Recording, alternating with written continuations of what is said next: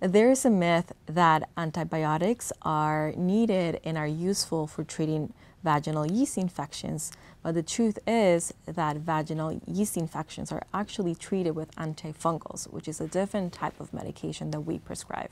If you're given an antibiotic to treat a vaginal yeast infection, it will not do much. It won't eradicate the infection that you have. You should obtain a antifungal that will treat this infection.